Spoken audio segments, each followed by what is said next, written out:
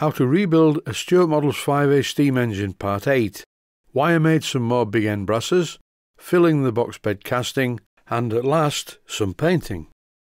But first, the mystery of the big end brasses. Why did I make some more? The answer's quite simple. The brasses that I made in the last video just weren't good enough, and I wasn't happy with them, and it was bothering me, so I threw them away. The main problem was that I used the original holes in this connecting rod to drill the holes in the brasses. As the holes in the connecting rod were not in the right place, then it didn't get any better when I drilled down into the brasses. So what I did today was, first of all, I corrected the holes in the connecting rod. I fitted some step bushes, and then I marked out the position for the holes in the brasses through these step bushes, so obviously the holes are in the right place. And I drilled them 3 16ths of an inch, which is clearance size for 2BA. In the other brasses, because of the positions of the holes being wrong, I ended up having to enlarge the holes to 7 32nds of an inch, which is no good at all for 2BA. It's a rattle fit. Everything is now okay and the brasses fit very well, so I'm separating them by heating them up with a blow lamp to melt the solder. And what I'm doing here before any armchair engineers write in is I'm removing the solder, I am not removing any of the parent metal. I really do enjoy working with these belt sanders, particularly the 1 inch one that I'm using at the moment. You can do some amazing things with it once you master the art of using it. Now it's time to assemble the bushes and see what happens when I fit them to the crankshaft. The hole in the centre of the big end brasses has been accurately reamed to 11 16ths of an inch to fit on the crank pin. First of all I'm just assembling this to make sure it's the right size. The main bearings are also 11 16ths so I can just slide it onto the crankshaft and check that it's not binding. The other day when I was sorting some papers out in the workshop I found a drawing for a 5A. This was a stroke of luck really because I didn't think I had one. And when I looked at the drawing, the original big end brasses were not really made to the right size. And that's another reason to justify making a second pair of big end brasses. Any weight that can be saved on the reciprocating components of a model steam engine has to be a good thing, because reciprocating mass equals vibration. In this clip I'm using a pair of Bahco spanners to just tighten the nuts and see how everything feels. Whenever I assemble engine parts I always assemble the parts in a flood of oil and you've just seen me apply quite a lot of machine oil to the big end brass. This is the top one. I've applied some to the other one that you didn't see me do and I'm now fitting the lower bearing brass in place and everything is being fitted in a pool of oil. When assembling parts like this it's quite easy to overlook the oiling and then when you run the engine part of it is dry and suddenly that part gets very hot.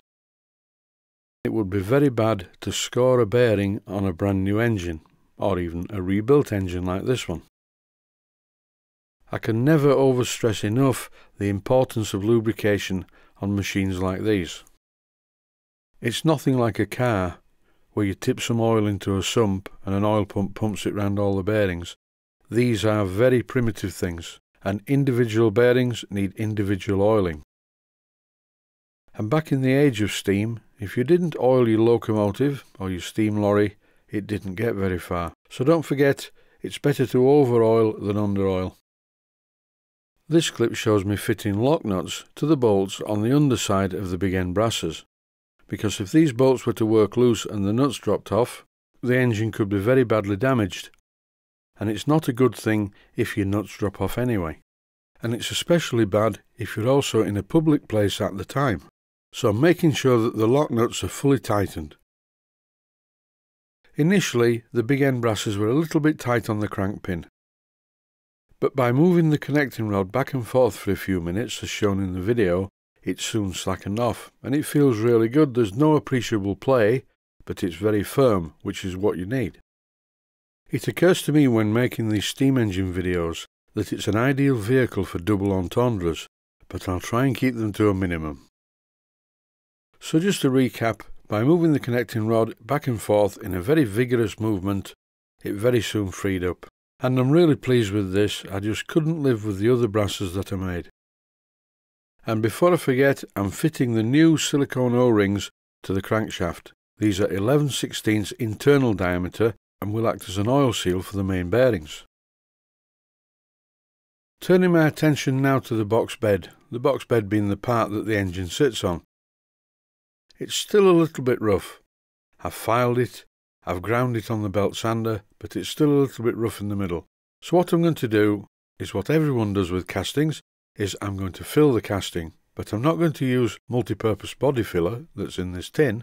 I'm going to use JB Weld. I really do like this JB Weld product. It's very, very strong. I'm going to use this piece of plastic which was in the body filler tin to spread the JB Weld on the casting. One viewer made a derogatory comment about JB Weld. He said, oh, the only people who use JB Weld or something like that are hammer and file merchants and bodgers. And I don't understand that comment because I find this stuff to be really useful. So far, JB Weld has worked very well for me. I even fixed a broken lug on a steam engine with it, and I'm pleased to say that the repair appears to be 100% successful. I've run the engine, and the lug is still firmly secured to the engine with nothing more than JB Weld.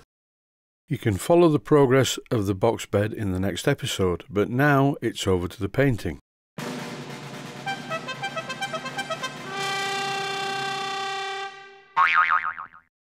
But before the painting extravaganza can start, I have to make a simple but effective mounting base to support the sole plate for when I'm painting it. And that's it from me for the moment. I'll let my healing music carry the rest of the video. Just sit back and relax, listen to the music and watch the painting. Thanks for watching and I hope you found it useful. Here we go.